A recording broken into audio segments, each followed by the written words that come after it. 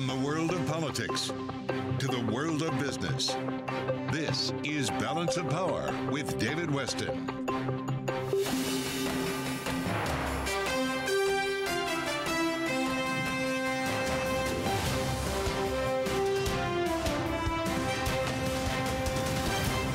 From Bloomberg World Headquarters in New York to our television and radio audiences worldwide, welcome to Balance of Power. All NATO defense ministers are meeting today in Brussels in the wake of that renewed and extensive rocket attacks on Ukraine from Russia. To bring us up to speed on exactly what they are doing, what they are saying, we turn now to our Bloomberg European correspondent in Brussels. She's Maria Tadeo. So, Maria, what have we learned from the defense ministers?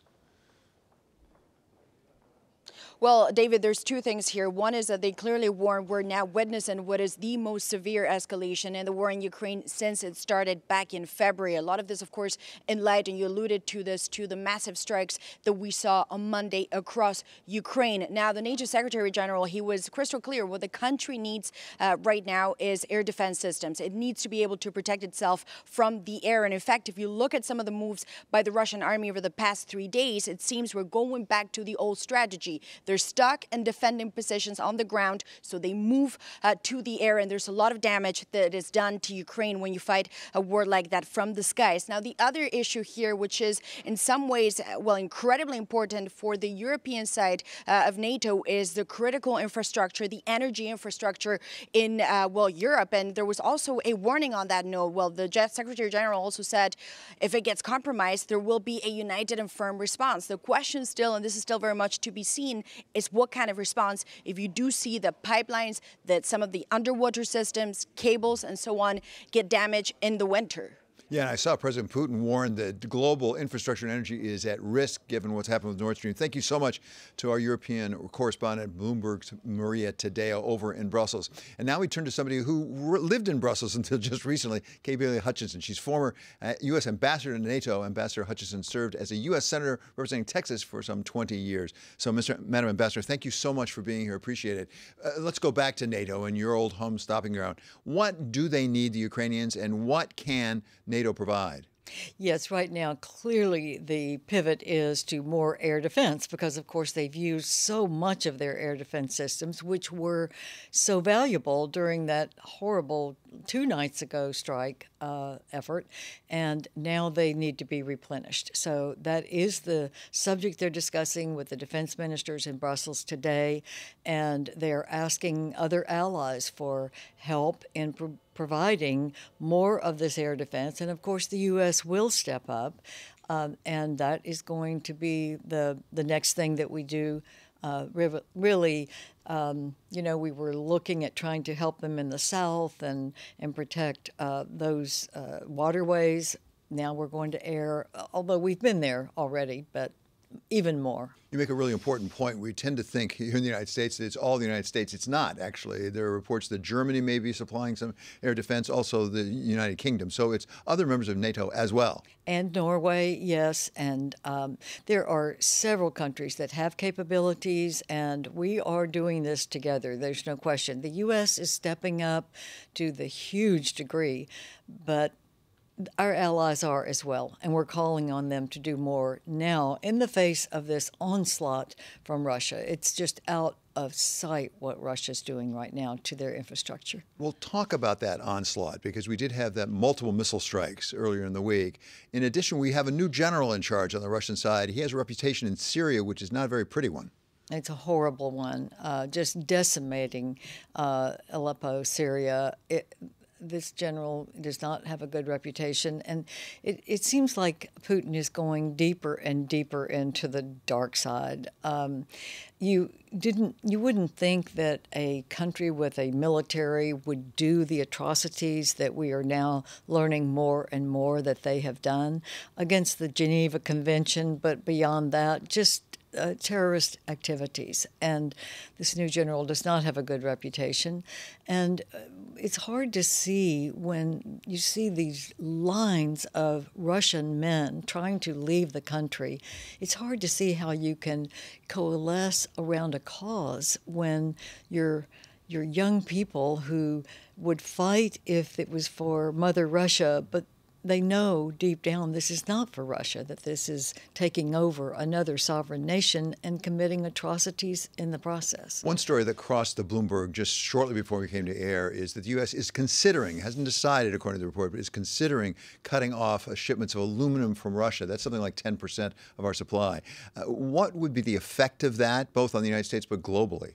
Well, of course, David, we are looking at global effects, but Russia has the sanctions on oil uh, have not really cut back on Russia's economy, and in order to bring Russia to their senses, uh, I think more sanctions, more bans uh, are probably in in the uh, list of options, um, and I think we need to do more to really crush Russia's ability to buy arms from Iran. They're using Iranian drones right now on the Ukrainian soldiers. So we've got to stop that. How do you do it? You do it by not having them able to afford buying from North Korea, Iran, um, the the countries that would love to do damage to our Western alliance. One of the big issues casting a shadow over all this is the possibility of the use of nuclear weapons, something that President Putin has very specifically referred to. Uh, at the same time, we had NATO Secretary General Jens Stoltenberg today uh, saying that they haven't seen any indication of that yet. This is part of what he had to say. Russia knows that the nuclear war uh, cannot be won, must never be uh, fought. And um, uh, we are, of course, also closely monitoring. Um, the Russian nuclear posture. Uh, we haven't seen any changes in the uh, nuclear posture of Russia, but we will remain vigilant.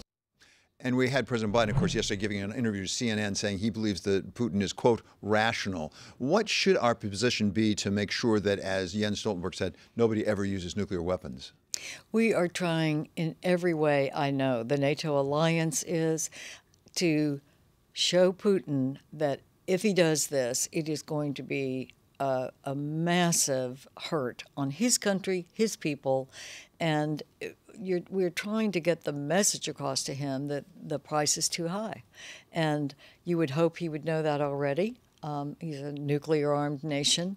And we don't, I'm, every intel report I see says that they don't see the evidence of that. But then, you know, they didn't really see that Putin was really building up for a real invasion, and so you, it, and it's not that they didn't see what was happening. It is they don't know the mind of someone who is committing such atrocities. So we certainly are doing everything to try to show Russia and show Putin that he will hurt if he does something so drastic as using nuclear weapons. I want to end in a question we've gotten just now from a viewer, actually, because I do hear it asked of quite a few people, and you, as a former senator and diplomat, really can address it. And that is, at what point does, as he said, the allies sue for peace? Do we actually sit down and try to talk to Putin? We heard that President Biden uh, last night actually said he doesn't know what there'd be to talk to Putin about. But at what point do you actually think about some sort of talks to resolve well, this? Well, I think that President Zelensky has set the bar.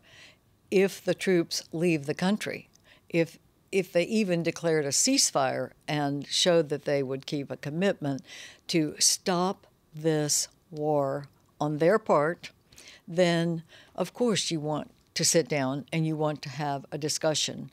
But I think President Zelensky has to lead this effort. We can't try to coerce him into something that isn't right for his country. He has been a magnificent, gifted, spirited leader, and we can't get in front of him on this.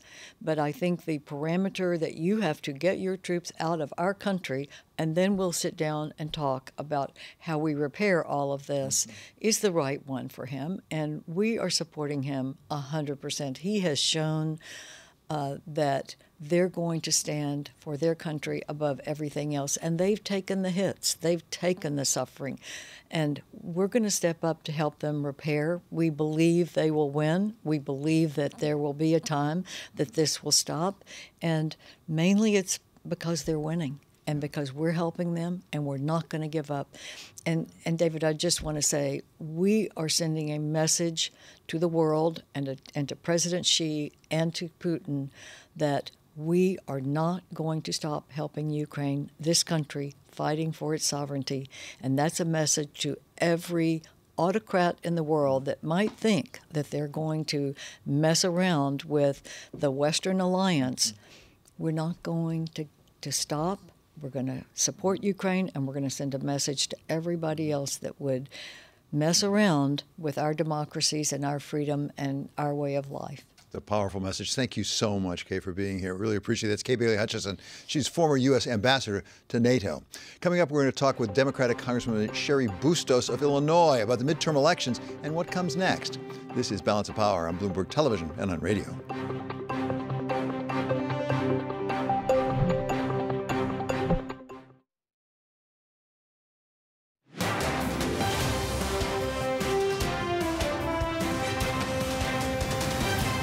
This is Balance of Power on Bloomberg Television and Radio. I'm David Westin. To keep you up to date with news from all around the world, we turn now to Mark Crumpton here with the first word. David, thank you. NATO Secretary General Jens Stoltenberg urged alliance members to step up supplies of air defense systems to Ukraine, condemning Russian strikes against Ukrainian cities.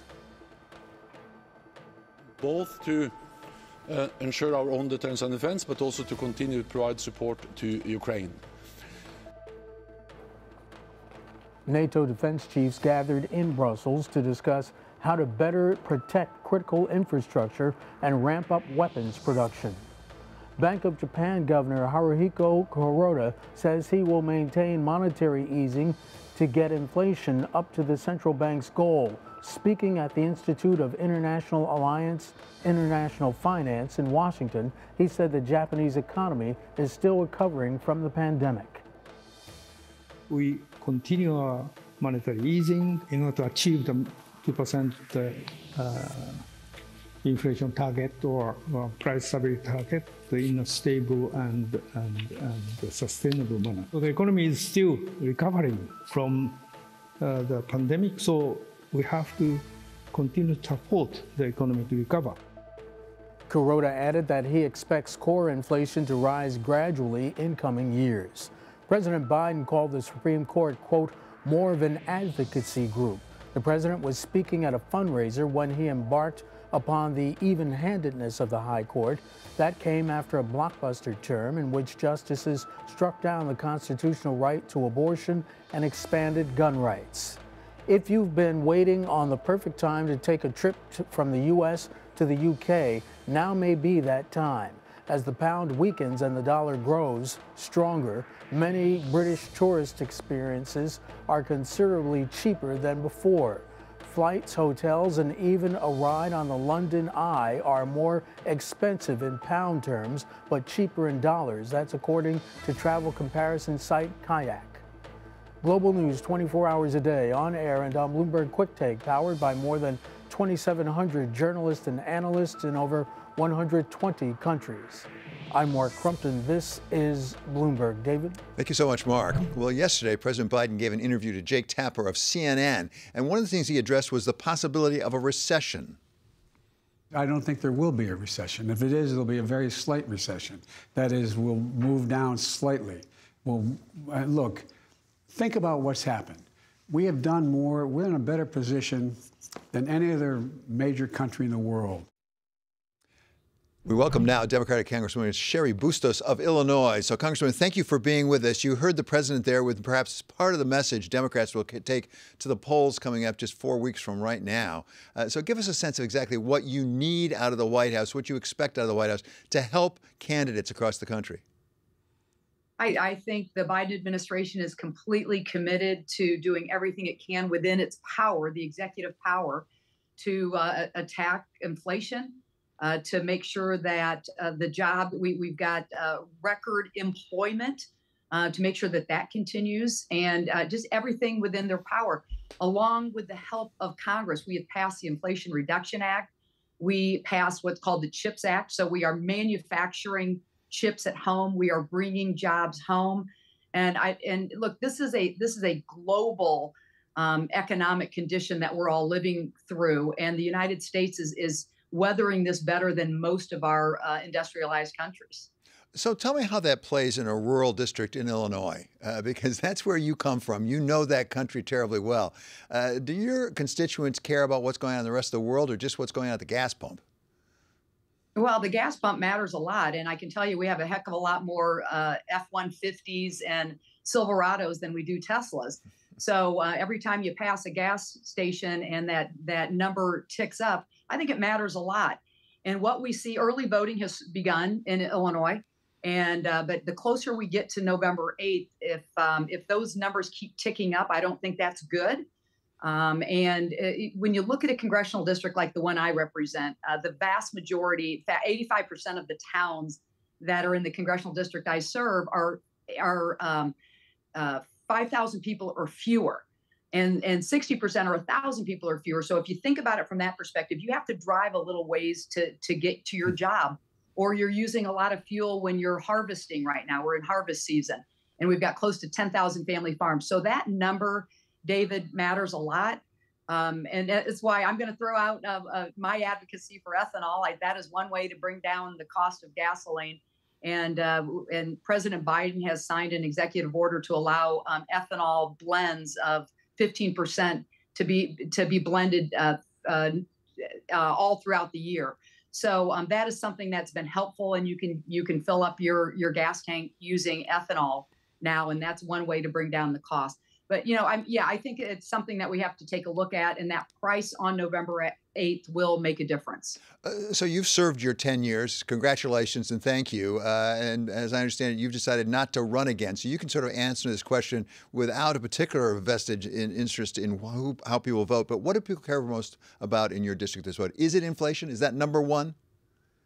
And the economy is number one. And it's not just the the gas tank. It's when you go to the Hy-Vee grocery store or or the Kroger, and and all of a sudden you see what the a slab of bacon costs or um, a, a, dozen eggs. Yeah, that matters a lot. Um, I, I, think that that is one of the primary issues, um, if not the primary issue. But the other thing that I'm hearing about, which is a big difference in the time when, from when I first started running to today, and that is women's um, the choices that they make in the doctor's office. And I wouldn't have thought that 10 years ago that that would be a primary issue but it is. We saw what just happened in, in Kansas with um, with with women turning out in in huge numbers and defeating that uh, constitutional amendment that they were voting on in, in, Kansas. But even in a more rural congressional district like I represent, I would say that the message is nobody wants Uncle Sam in their doctor's office. And you know this idea that we should be allowed to make our own healthcare decisions. We should be allowed to make our decisions about um, our families, that sort of thing. Now all of a sudden we've got um, the other side of the aisle that has always, you know, uh, tried to present themselves in a way that, hey, we don't want government interference. The Supreme Court is saying, yeah, they they want to make these decisions for us, and I, I think that is a huge motivator. And right now, it the motivator is that the voters are angry about what came out of the Supreme Court. They're angry about um, the um, other side of the aisle saying they want to make this a, a, a national referendum on women's healthcare choices, and even have 86 Democratic co-sponsors to to ban abortion right. under all circumstances, and I, that that does not go over well. Uh, Congressman, let me ask one last area, and I'm not sure whether you're going to have to deal with this, but there is a debt ceiling limit that's going to be coming up that uh, somebody's going to have to deal with probably in the next Congress. There are reports on the Bloomberg, actually, just uh, of, as of yesterday, that some Republicans, if they actually do take control in the House, will use that as a way to really bring some reform to entitlements, Social Security and Medicare. Now, whether that's the right way to do it or not, do you agree something's got to be done about entitlements? Because I think last time I checked, we're going to go bankrupt at some point. Well, it's not a matter of, of something has to be done about, and I'm not going to use the word entitlement. Look, Social Security is something that anybody who's been in the workforce has paid into their entire lives, and um, it is it is a, a, promise that the federal government has made that in your old age um, you will not be destitute. Um, there's actually going to be the the largest cost of living increase for Social Security that we've seen um, in um, maybe ever. And, um, but but that is a promise that we've made. We can make it sustainable. Um, and, and is, is the way to do that uh, right to, to look at the cap at which the uh, Social Security benefits are paid in at. It's I don't know $130,000 income uh, that that after that it's it's cut off. I think that that is something that we can look at raising to make Social Security sustainable. Uh, Medicare is is a um, a wonderful program. I have an 89 year old mother who is actually going through health challenges right now. And um, Medicare is there for her, not just for my mother, but for the those seniors who need that help. So um, I don't look at it as entitlements as much as these are programs that we have paid into. We can make them sustainable. And if you want to look at what's happening on the other side of the aisle, um, you've got the the chair of the National Senatorial Campaign Committee who actually wants to um, uh, take a look at Social Security and cutting that. So um, there is a distinct difference between um, the the reasonable Democrats and and um, those on the far far right and what they want to do with those programs. Do we have to do something with them to make them sustainable? Of course we do, um, but there are ways to do that to make sure that our seniors are also looked looked out for and that they're not destitute when they're you know in their 80s and their 90s. And I don't think we as as Americans want that to happen. Congresswoman, always such a pleasure to have you on. Very informative. Thank you for your time. That's Democratic Congresswoman Cheri Bustos of Illinois. Still to come, we're going to talk with Eswar Prasad of Cornell about the IMF World Bank meetings in Washington this week and what they could accomplish. This is Balance of Power on Bloomberg Television and on radio.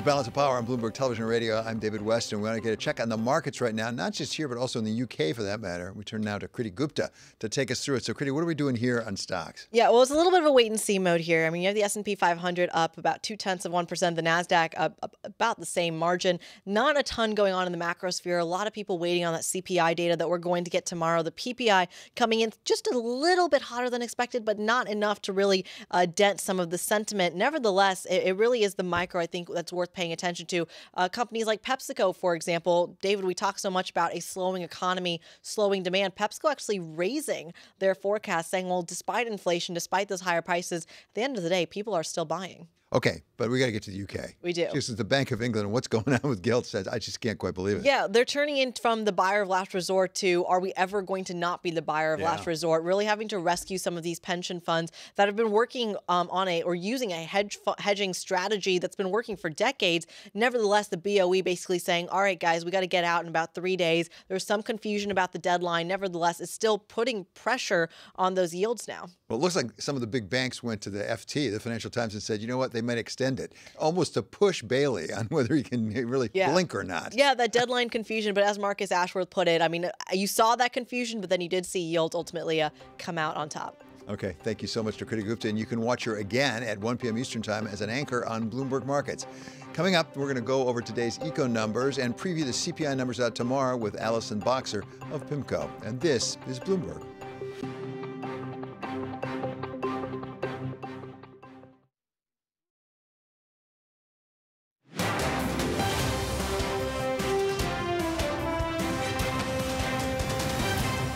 Balance of Power on Bloomberg Television and Radio. I'm David Westin, and for some global news, we turn now to Mark Crumpton here with the first word. David, thank you. In Russia, President Vladimir Putin said the explosions on the Nord Stream gas pipelines set what he called the most dangerous precedent at a Moscow energy forum today. President Putin blamed the act of terror on the United States, Ukraine, and Poland, calling them beneficiaries of the blasts. Mr. Putin added that the attacks, quote, show that any critically important object of transport, energy, or utilities infrastructure is under threat, end quote. In Iran, the unrest following the death of Mahsa Amini has left 201 people dead, 28 of them children. That's according to an Iran rights group and a charity. Reports from Oslo based Iran Human Rights Group say scores of school children have been arrested for protesting and for publicly criticizing the leaders of the Islamic Republic.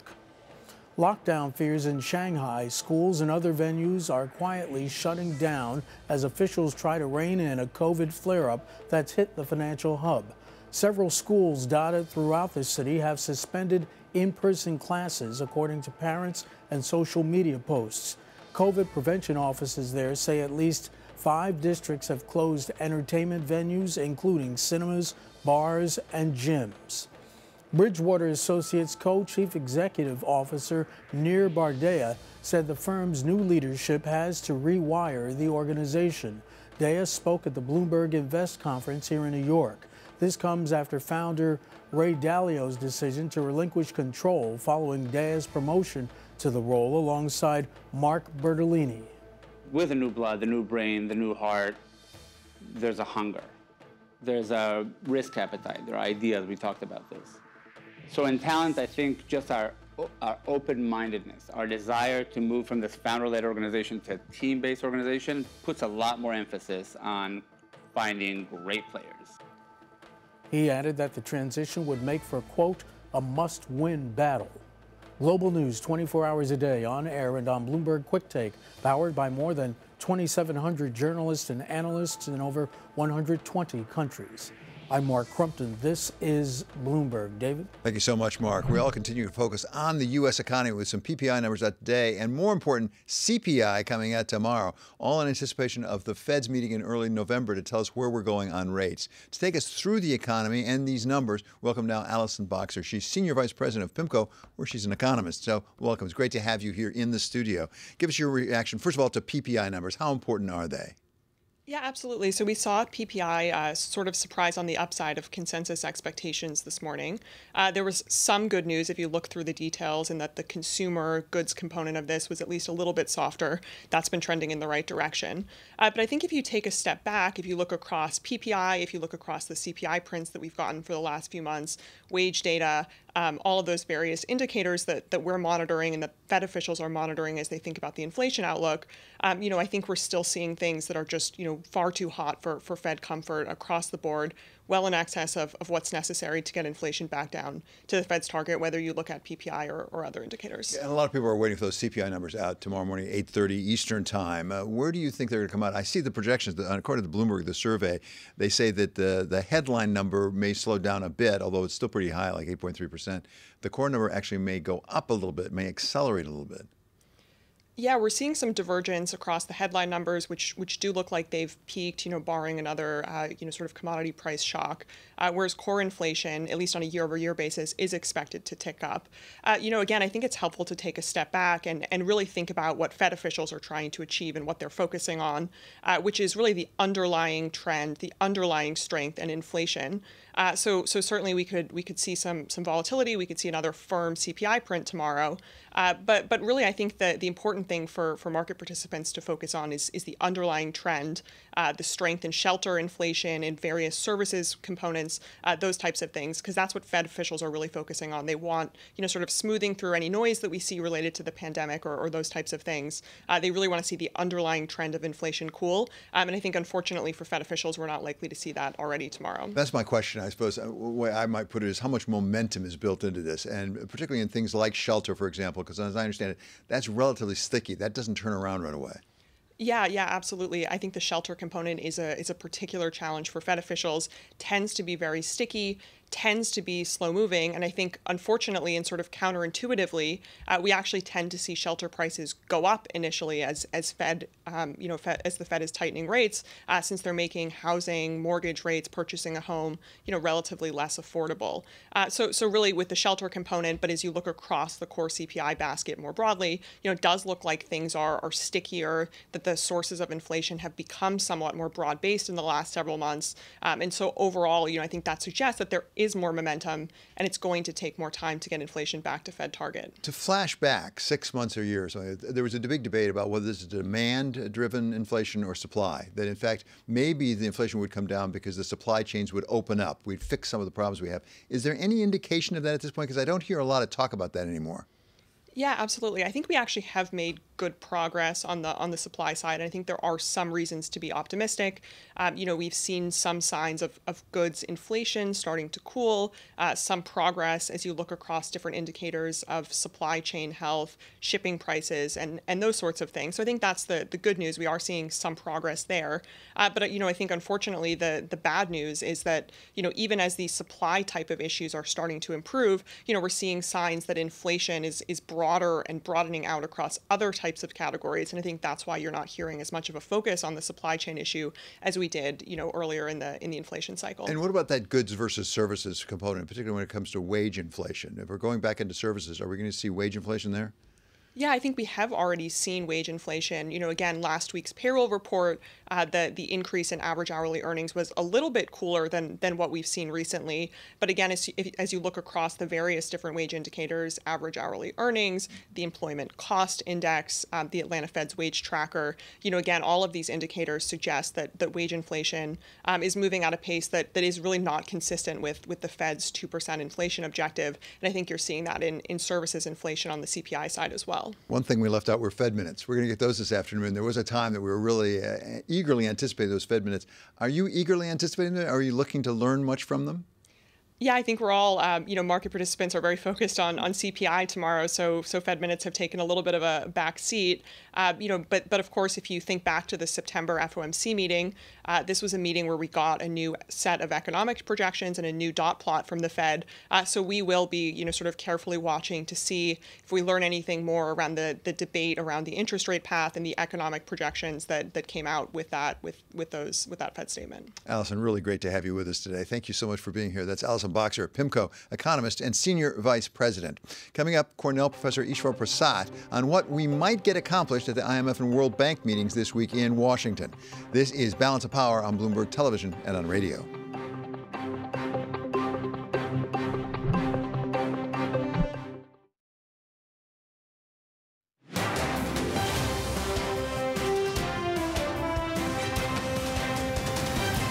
This is Balance of Power on Bloomberg Television Radio. I'm David Westin. Before he was professor of trade policy at Cornell, Eswar Prasad served at the IMF as head of the financial studies and China divisions. He is also the author of The Future of Money How the Digital Revolution is Transforming Currencies and Finance, and we welcome him back now. Eswar, thanks so much for being here. We have the IMF World Bank meetings going on even as we speak in Washington. What do we hope to see come out of those? There is a real sense of concern among the policymakers meeting in Washington about where the world economy is right now. You know, practically every major economy is grappling with some combination of falling growth, high and rising inflation. There are, of course, some exceptions to this, countries such as China, uh, where growth is very weak, but um, inflation is not very high yet. Um, but one of the concerns that is top of mind for policymakers practically everywhere is what is going to happen with the Fed and with rate hikes and what that might do to the dollar. Because a strong dollar right now is creating a lot of complications um, for every advanced economy and developing economy that is on the other side of the dollar. Um, now, one question is whether there is going to be um, any sort of coordinated response that the world can come up with. And it's not obvious that that is going to be the case.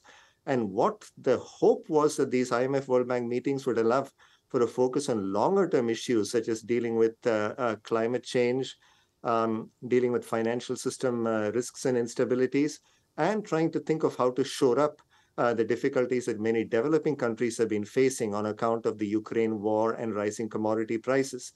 But all of those longer term issues, I think, are really giving way uh, to just dealing with what is seen as a very difficult moment in every economy. Well, let's talk about that dollar for a moment. Uh, you've written a book on it, actually, beyond the book that, about uh, digital money.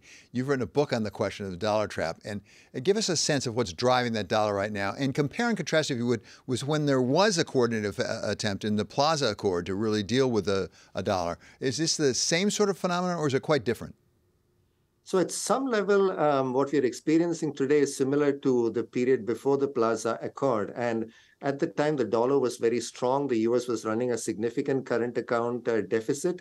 Um, and there was a concern that that could threaten global financial instability. We have some similar things going on right now. The US does have a significant current account deficit, but I think one very important difference right now is that practically every country right now is facing um, a very difficult period in terms of uh, uh, low growth and with very little policy space. So I think the reason the dollar is strong is partly because the US has, of course, uh, gotten ahead um, with its rate hikes, but also, relatively speaking, and of course, in international finance, everything is relative. The US growth prospects don't look as bad as those in the rest of the world, um, where there are many more complications.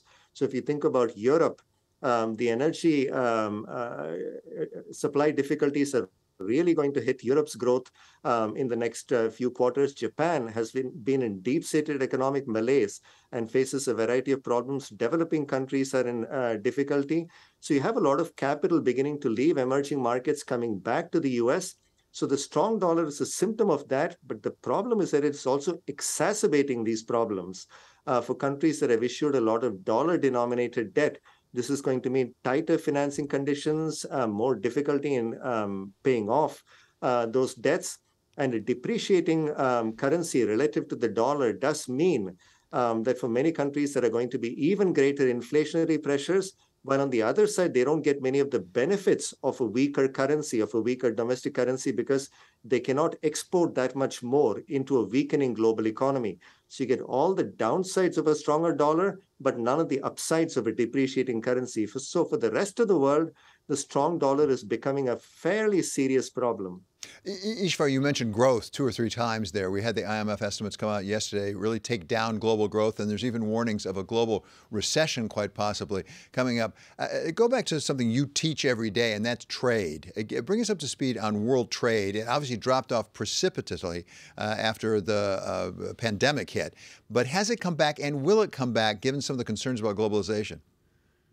So it came back quite strongly um, uh, earlier this year, and there were concerns, in fact, um, that the global trading system was uh, um, increasing um, demand for goods to be uh, transported across national borders and within uh, borders as well, and that there were supply constraints. In fact, those supply constraints have begun to ease up a little bit, um, and there are many economies around the world right now um, where, in fact, uh, trade has begun to deteriorate. So, if you take an economy like China, for instance, um, imports have begun to uh, weaken, but exports have begun to weaken as well um, because we are seeing much weaker global demand. So certainly trade is an important bellwether of where the global economy is going, and it doesn't look very good right now.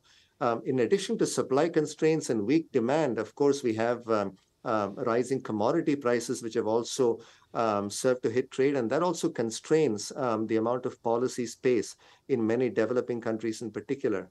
Talk about the second largest economy in the world, China. Uh, we're, we're, about to go into the 20th Party Congress here. President Xi is up for a third term. Everyone expects him to get it. Uh, at the same time, give us a sense of where China is. I know you ran that division for the IMF. Where's China's economy? Is it slowing as badly as people are worried about? So, with the party Congress and with the presumed recoronation of Xi Jinping as uh, president for a third term, the watchword in Chinese economic policy-making circles seems to be stability. So there is no going back on the zero COVID strategy, which the government seems very committed to.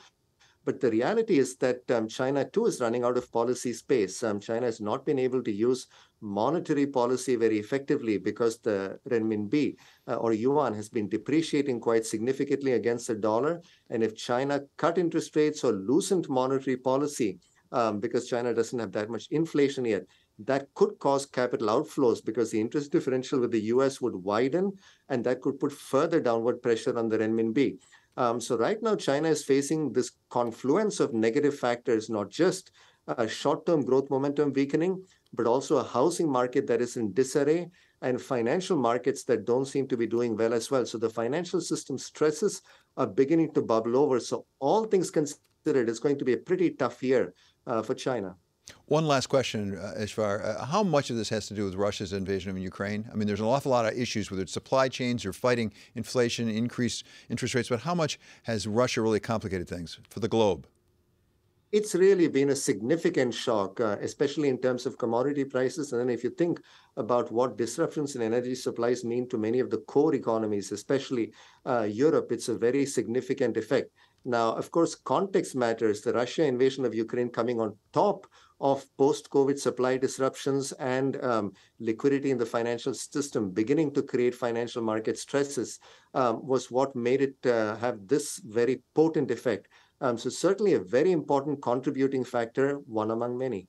Come back to trade for a second with respect to Ukraine. How much has the Russian invasion of Ukraine disrupted global trade flows? It's been quite significant. I think there are concerns that um, uh, geopolitical uncertainty, geopolitical risks are ramping up. Uh, so I think uh, financial assets are beginning to come back to their home markets. And there is a dampening of business and consumer confidence around the world, which is certainly going to have an impact on cross border trade. So let me come back to the big question at IMF and World Bank, if I could, Eswar.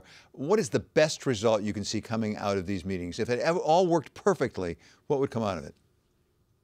So a best case scenario might be one where um, leaders around the world come up with a coordinated strategy to deal with these supply side problems. Now, there is a geopolitical element to it. If there is a way to deal with that, that would be uh, great. But there are um, measures that countries can take, especially to stabilize financial markets. Right now, there is a real sense that monetary policy and fiscal policy in many countries, the um, UK example being a prime one, are not working in concert. So, what we really need to think about are policies that can support short term growth, but also improve long term productivity. And some sort of coordinated measure uh, to take steps in that direction, I think, would be useful.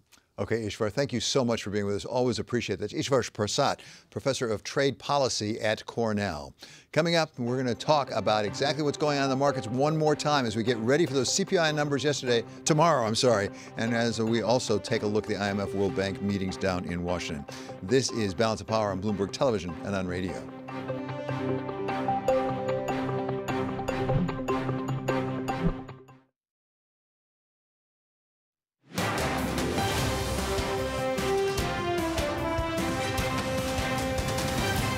This is Balance of Power on Bloomberg Television Radio. I'm David West, and I dare say the big market story right now has to do with the United Kingdom and gilt and what is going on with the Bank of England. And to take us into all of that, we welcome now Bloomberg's senior markets editor, John Authers, who has a piece out on the Bloomberg in which he talks about British Reserve, I think you call it. I think we're not yeah. seeing that right at the moment, much British Reserve, John. No, they're, they're, they're, we're, we're, proud of our uh, ability to for, for understatement, and we didn't get anything much in the way of understatement from Andrew Bailey yesterday, which has caused the latest really really chaotic twist in the saga of uh, the gilts market. Well, if, if, there's anybody who doesn't hasn't followed this, Andrew Bailey yesterday, as I understand, said that deadline of Friday is a real deadline. We're not going to stay buying these long-term gilts. In the meantime, the FT this morning, I opened it up, and yep. the top story is, oh, by the way, they're talking about extending it. Full disclosure: I spent most of my career at the FT. Um, I, I, read it first thing every morning, John. Generally, generally speaking, generally speaking, stories like that don't get into the FT if they're not true. Uh, and they probably don't get into the FT if the Bank of England hasn't hasn't uh, uh, gone to great lengths to tell them otherwise. Um, so the fact that such contradictory messages can get into the FT of all places, the the house organ of the City of London, virtually, from describing something so vital that the Bank of England is going to do is is I just cannot think of a, precedent for it. We should say the, the, the, the, FT has done another story since the one you read this morning, saying uh, actually, no, they are definitely going to stop buying back bonds on, uh, on Friday. Well, well so uh, uh, let's speculate for a moment. Is this two parts of the Bank of England? I mean, is there something of an insurrection going on? Part of it doesn't isn't talking to the other part. I, I don't. I, I don't know about that. I, I, obviously something has gone wrong with the with the clarity of the communications one possibility is that they were having private communications about the possibility of uh, giving them more time. Uh, and then, for some reason, Andrew Bailey decided to go public saying, actually, no, I'm not going to let you get away with this, or I'm not going to let you not give you a, as much rope as you were expecting. So, John, normally for somebody like you and I, it's sort of good fun to watch this go on, but there's yeah. real money involved here. There are real issues. I mean, are the pension plans put in a position so they can actually unwind everything by the deadline on Friday? Uh, as far as I can tell, that's going to be really difficult. Um, that said, you know their pension plans. You've got a lot of time to bargain with when with a pension plan. Um, if the, I still find it very hard to imagine that their ultimate solvency is at stake because they are guaranteed pensions. The uh, somebody yeah. The, whole point of a, of a of a defined benefit, a final salary pension scheme, is that you, the pensioner, don't mm. take the risk; the employer does.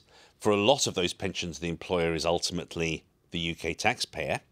So this could end up just creating even more of a dent in the national budget. But I don't see the. I still find the idea of of pensions actually not going paid very, very hard to imagine. No offense, but I think uh, the Bank of England may be making Liz Truss look good in her big government at the moment. it was it was the one institu- British institution that was still looking fairly exactly. competent, and now it's joined the party. Was okay. Thank you so much to Bloomberg senior markets editor John Authers. Check out the Balance of Power newsletter on the terminal and also online. And this is Bloomberg.